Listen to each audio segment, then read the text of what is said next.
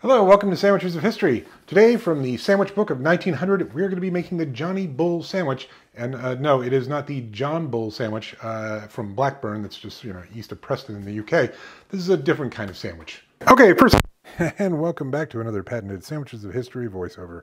Uh, it said to put meat through a food chopper. I don't have a food chopper, I have a Mini Prep Pro. I also uh, had to chop up some celery and, of course, uh, chop up some cooked macaroni.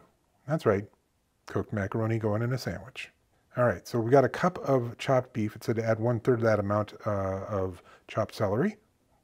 And of course, one third that amount of our chopped macaroni. Then we add in some onion juice, which you can buy, but you can also make it by grating an onion and squeezing. Uh, and then it said to add enough mayonnaise.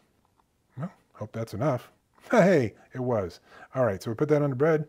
Okay, so let's give this Johnny Bull sandwich a go. Wait, this reminds me of something. I'm pointing at the sandwich. It reminds me of a tuna fish sandwich. Uh, tuna fish salad sandwich. It's got mayonnaise, it's got the onion, it's got celery. It's actually pretty good. But I do want to plus it up with one thing though. Yeah, Grillo's pickles flavored dill, pickle flavored potato chips from Boulder Canyon. Okay, let's give this Johnny Bull sandwich plussed up with, no wait, I screwed that up. Let's try that again.